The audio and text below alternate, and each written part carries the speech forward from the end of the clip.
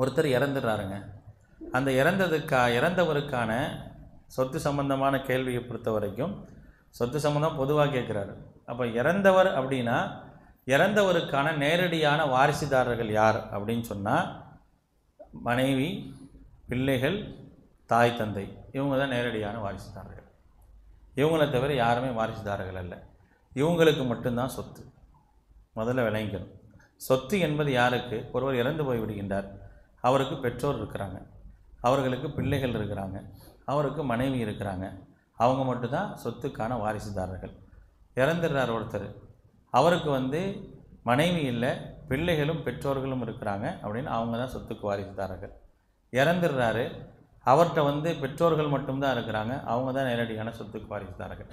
அந்த பெற்றோர்கள் இல்லை மகன்கள் இல்லை மகள்கள் இல்லை அதுக்கு அடுத்தபடியாக யார் வருவாங்கன்னா அவங்களுடைய தாத்தா பாட்டி பேரம்பேத்தி அப்படிங்கிறவங்க இவங்க இல்லைன்னா வருவாங்க. இந்த வா நேரடியான வாரிசுதாரர்களுக்கு அடுத்த சந்ததிகள் இருக்காங்கல்ல இவங்க இருக்கும்போது இவங்களுக்கு கிடைக்காது. இவங்க இருக்கும்போது இவங்களுக்கு கிடைக்காது. அவங்க இல்லை. அந்த வாரிசுதாரர்கள் இல்லை.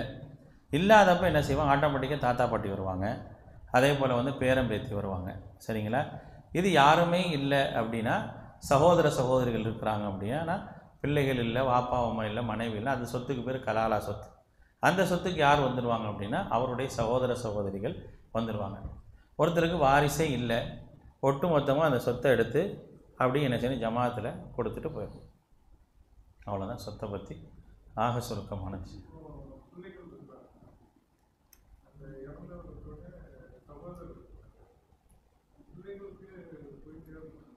சகோதரர்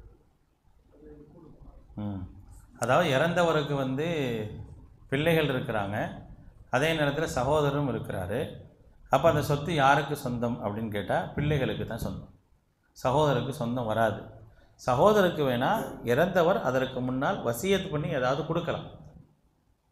அப்படி தான் கொடுக்க முடியுமே தவிர மற்றபடி பிள்ளைகள் இருந்தால் அவங்களுக்கு தான் அந்த சொத்து முழுசா போகும். அவர் என்ன செய்ய முடியும்? உரிமை கொண்டாடுவதற்கு அவருக்கு அனுமதி இல்லை.